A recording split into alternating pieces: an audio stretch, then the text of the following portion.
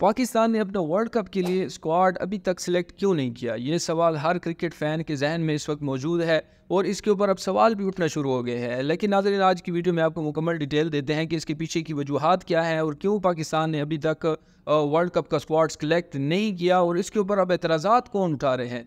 एतराज़ा के बारे में भी आपको मुकम्मल डिटेल देंगे और किस किस्म के एतराज़ा उठाए जा रहे हैं ये भी आपको बताएँगे। लेकिन उससे पहले एक सवाल आपसे कि इस दफ़ा जो पाकिस्तान का वर्ल्ड कप का स्क्वाड है, उसमें कौन सा प्लेयर आपका फेवरेट है? अपनी राय का इजहार कमेंट में ज़रूर कीजिएगा। नाजिन जैसे कि आप लोग जानते हैं कि इंडिया ने अपना स्क्वाड सिलेक्ट कर लिया है, जो पाकिस्तान का रिवायती हरीफ है और इसका एक फ़ायदा ये भी होता है कि जो स्क्वाड सिलेक्ट हो जाता है, उसके ऊपर प्लेयर्स का एक जहन बन जाता है। वो अपने आप को प्रिपेयर करना शुरू कर देते हैं। लेकिन सेम सिचुएशन अब पाकिस्तान की अगर देखी जाए तो पाकिस्तान के प्लेयर्स को अभी तक पता ही नहीं है कि क्या हमने वर्ल्ड कप खेलना है या नहीं।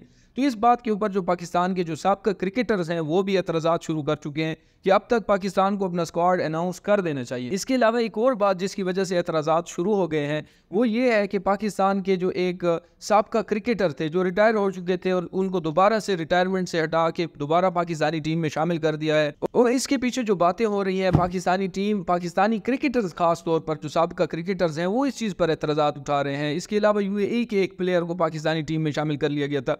तो ये ऐसी बातें हैं जिनकी वजह से सिलेक्शन कमेटी भी किसी हद तक कंफ्यूज है। और अब सबका क्रिकेटर ज़ोर दे रहे हैं कि आप लोगों को वर्ल्ड कप के लिए स्क्वाड जल्द अज जल्द सिलेक्ट करना चाहिए ताकि प्लेयर्स अपनी मैंटेलिटी को वर्ल्ड कप के हिसाब से सेट करें, वो प्रिपेयर्ड हो। क्योंकि अचानक जब आपको खबर मिलती है तो एक प्रेशर था क्योंकि उन्होंने एक बहुत बड़ी लीग खेलनी है इंटरनेशनल टीम इंटरनेशनल मैचेस खेलने हैं उसके हवाले से अब देखते हैं कि पाकिस्तान क्रिकेट बोर्ड कब अनाउंस करता है अपना स्क्वाड और कब प्लेयर अपनी प्रिपरेशन शुरू करते हैं। लेकिन आपके ख्याल में क्या पाकिस्तान को स्क्वाड सेलेक्ट कर लेना चाहिए या आयरलैंड की परफॉर्मेंस देखने के बाद सेलेक्ट करना चाहिए? अपनी राय का इजहार कमेंट में ज़रूर कीजिएगा। मिलते हैं जल्दी एक और वीडियो के साथ।